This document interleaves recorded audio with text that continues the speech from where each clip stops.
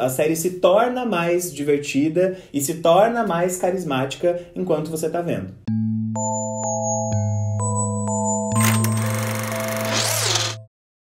E aí, Rocamboliers, eu sou o Thiago, esse é o canal Rocambole. Eu falo de série, falo de filme, eu sei que você gosta de falar sobre isso também, então se inscreve no canal, dá um like no vídeo, ativa o sininho também para receber notificação dos próximos e fica por aqui. Para quem já tá com a gente há um tempo, o canal tá um pouco diferente, tô eu aqui sozinho agora, então se você não sabe o que tá acontecendo, vai aqui ó, nesse vídeo que você vai entender. Realmente tá, tá rolando um momento de transição aqui no Rocambole e a gente falou sobre isso nesse vídeo, então eu te convido a assistir depois que terminar esse. Mas agora vamos falar de série. Uncoupled estreou no dia 29 de julho. É uma comédia dramática original Netflix, protagonizada pelo Neil Patrick Harris. E tá sendo chamada por aí de, de A Sex and the City Gay. Faz sentido essa afirmação, será? Michael é um corretor de imóveis bem sucedido, que vive em Nova York e tem um, um relacionamento duradouro com Colin há 17 anos, mas que acaba sem mais nem menos. Do nada, sem explicação nenhuma. Ele preparou toda uma festa surpresa de aniversário de 50 anos pro, pro Colin, e aí no fim das contas, quem teve a surpresa foi ele, porque acabou tudo. Agora Michael tem que encarar a vida de solteiro, gay e quarentão em Nova York. Então a gente passa a acompanhar esse processo de, de reconexão dele com ele mesmo, com a ajuda de Billy, Stanley e Suzanne, que são seus melhores amigos, também tem seus dramas, seus amores, suas dores, conflitos amorosos e profissionais de gente rica em Nova York. Drinks, sexos, eventos chiques, lágrimas. Tem um pouquinho de Sex and the City sim, né? Ainda mais se a gente pensar que as duas séries foram criadas pela mesma pessoa. Uncoupled foi criada por Jeffrey Richman, um dos roteiristas de Modern Family, e Darren Star, o criador de Emily em Paris e Sex and the City. Então, na primeira parte desse vídeo, eu vou dividir com vocês a, as minhas impressões sobre a série, sem spoilers, e aí no final eu vou falar sobre o final, mas quando chegar nesse momento eu aviso, tá? Pra começar, eu preciso dizer que, que esse universo de Uncoupled não me atrai muito, essa coisa da, da vida rica em Nova York, que a gente já viu tantas e tantas vezes, de tantos jeitos diferentes, não me pega tão fácil. A série já começou com esse problema aqui comigo, mas foi, foi evoluindo. Fora que eu achei o começo meio truncado, não sei se vocês perceberam isso também, mas parecia meio travado, me deu a sensação de que o elenco ainda não, não conhecia exatamente a série, não sabia quem eram esses personagens, como eles agiam em determinadas situações, sabe? E aí, óbvio que isso, ao longo dos episódios, foi melhorando muito. E justamente por isso, acho que as coisas foram se encaixando. O humor passou a ser mais eficiente, porque eu demorei para rir, de verdade, com a Couple. Foi no terceiro episódio, até, até anotei isso no meu caderninho. O terceiro episódio foi uma cena com a Suzane, não lembro exatamente o que ela fez, que eu realmente ri, e aí depois disso passou a ser mais frequente. E é exatamente isso. A série se torna mais divertida e se torna mais carismática enquanto você tá vendo. Tem um troço que é uma indignação do Gian, na real. E aí ele começou a falar tanto isso que eu fui pegando essa indignação para mim também, que é a coisa do, do vômito. De ficou nervoso, ai, ficou em choque, teve uma, uma surpresa, não sei, vai lá e vomita. Eu nunca vi isso acontecendo na vida. Eu nunca vi uma pessoa à minha volta ficando nervosa e depois vomitar porque ficou nervosa. Isso já aconteceu? Vocês já presenciaram? Isso existe no mundo? Ou talvez eu convivo com pessoas que não ficam nervosas, não sei. Agora eu queria falar um pouquinho sobre o Michael. Ele é um, um cara bem egoísta, bem egocêntrico em alguns momentos, a gente vê isso desde o começo. E o Michael é aquela pessoa que tá olhando para o que ele tá sentindo antes de qualquer coisa. Olha como eu tô sofrendo. Olha como você me fez sofrer. Mesmo quando ele vai dar parabéns pro Corey, não sei se vocês repararam, mas Tá, foi um, foi um parabéns super bonito, super fofo, emocionado, mas é sobre a relação que ele tem com o Colin. O amor que ele tem e até a necessidade dele em ter o Colin na vida dele, mas não foi sobre o Colin aquele discurso. Então, apesar de ser um, um término bem estranho, bem repentino e até desrespeitoso né, na forma como aconteceu, é, eu entendo da onde veio isso. Mas enfim, eu quero falar melhor sobre isso na parte com spoilers, tá? Acho que o papo vai ser melhor. Voltando a falar sobre o Michael, depois desse término, ele entra numa super crise que envolve muita coisa, né? Ele não quer essa vida de azaração, de grinder, de parceiros múltiplos e tudo mais. Ele quer a rotina quietinha, monogâmica, estável que ele tinha com o Colin. Então a crise dele é grande porque não é só em relação à perda do Colin especificamente, é muito mais ampla, é o lugar dele no mundo. Esse pensamento de que ele não se encaixa mais, de que as coisas têm acontecido no mundo gay de um jeito que para ele não faz sentido, enfim. Mas é claro que ele tá potencializando isso e aí soma a esse sentimento de rejeição, que para uma pessoa que a gente já detectou que é, que é egocêntrica e tal, fica muito maior. Como assim? Você me largou. Então ele tá realmente num momento de super crise. E é aí que as relações de amizade se tornam as mais importantes da série, tanto com os amigos gays, o Billy e o Stanley, quanto com a Suzanne. Que para mim, talvez seja a melhor personagem da série. Achei ela maravilhosa, a atriz arrasa demais, e em alguns momentos eu acho que eu tava me importando mais com com o drama da Suzanne do que com o drama do Michael. Porque a do Michael eu acho que ela fica até meio repetitiva em alguns momentos. Mas enfim, de qualquer forma, o Neil Patrick Harris também tá arrasando muito, tá super bem, acho que aproveitando os momentos de humor, os momentos de drama, acho que ele dá conta de passar por esses dois estados. Mas eu realmente acho que se for para destacar uma, uma pessoa do elenco nessa primeira temporada, é a Tisha Campbell. Eu acho que, que ela é a, a, a estrelinha da, da série. E falando de elenco ainda, eu não curti muito o ator que fez o Colin, sabia? Eu, eu senti ele desconfortável em cena.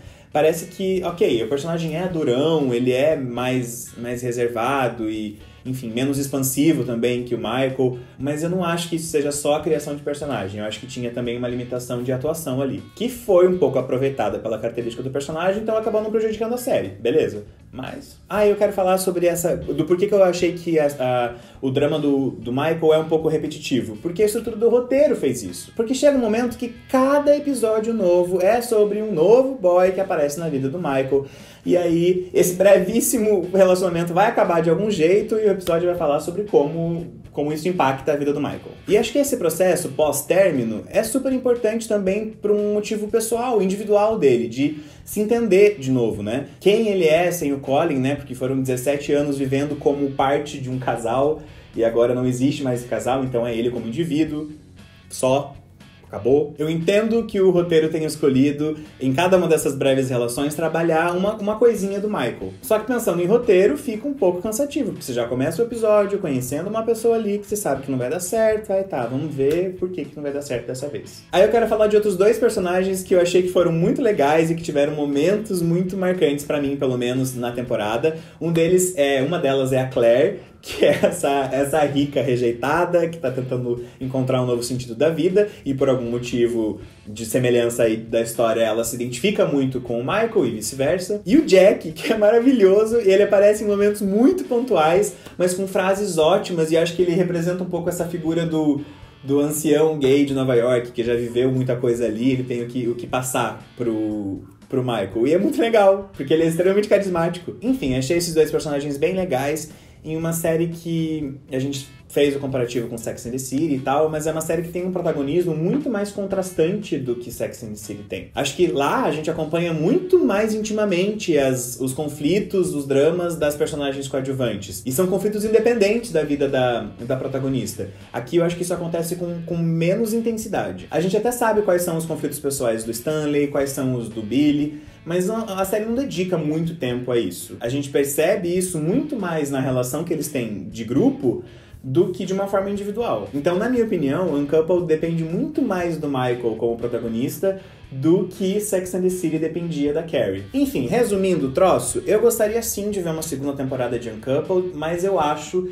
que essa é uma série que vai passar despercebida para muita gente. E mesmo quem assistiu, talvez não tenha tanta empolgação assim a longo prazo é, para voltar depois, porque não é uma série que foi marcante para mim e acho que não acho que não será para muita gente também. Mas de qualquer forma, foi super gostosa de assistir, eu adorei assistir. É, acho que é uma série que desce super fácil e você vai se apegando a alguns personagens e acho que são eles que podem fazer você voltar para uma segunda temporada caso ela seja renovada. Galera, até aqui eu comentei sem spoiler, mas eu quero passar por alguns pontinhos, um papo com quem já viu tudo. Então, é isso. Agora vai ter spoiler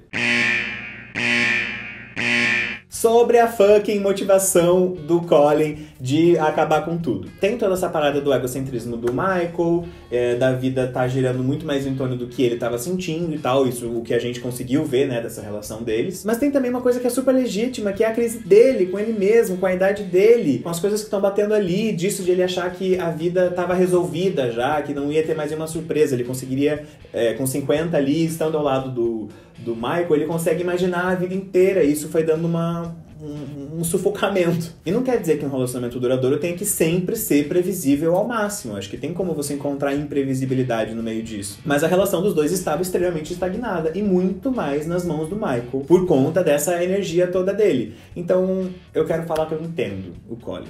Achei babaca a forma que ele fez, óbvio, tipo, não deu muita satisfação simplesmente decidiu isso e tirou as coisas sem um papo, sem uma conversa. Acho que foi uma atitude dele de, meu Deus, eu não, eu não sei fazer de outro jeito, sabe? É, isso também tá me fazendo muito mal, eu preciso cortar, mas eu não sei como. Acho que foi realmente um rolê meio de desespero, sabe? Eu não não achei que ele é um, um, puta babaca. Eu acho que ele foi babaca. Mudando de assunto, amei o terapeuta drag performer. Eu achei essa cena uma das melhores da temporada. Achei maravilhosa. Ele jogando a verdade ali na cara do Michael. Tava esperando alguém que realmente fizesse isso e não podia ter sido uma pessoa melhor. Eu achei sensacional. Essa cena foi realmente marcante para mim. Sobre o final mesmo do, dos personagens principais. A Suzane chega para encontrar o pai do, do filho dela no restaurante. ela tem uma reação de super é...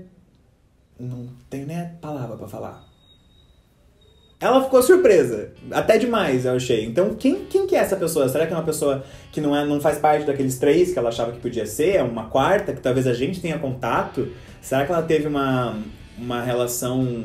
Nossa, nada a ver. Uma relação casual com algum dos amigos gays e aí. Mas por que eles não teriam conversado sobre isso esse tempo todo? Não, acho que tô pirando errado. Enfim, que curioso. Sobre a dança do Michael e do Colin. Achei uma cena muito bonita também, e é uma cena que fala exatamente sobre isso que eu falei ali no, no começo da parte com spoiler, que são os dois ali se reconhecendo como indivíduos. Eles estavam sendo parte de um casal por 17 anos, e não estava tendo espaço, acho, para quem eles são individualmente. Ali, naquele momento, eles passam a se olhar de novo é, enquanto pessoas separadas. E acho que isso faz muito sentido ali para o conflito de cada um, entende? As personalidades, os objetivos, as, as essências de cada um acho que estavam tão misturadas ali nesses últimos anos que talvez realmente precisassem de um momento mais drástico para se dissolverem um pouco e eles se olharem de outra forma. Eu não sei se o Colin tá naquele apartamento realmente para voltar o relacionamento, viu? Talvez ele tenha só se arrependido de ter vendido a parte dele do apartamento. A frase que ele dá é: Acho que cometi um erro.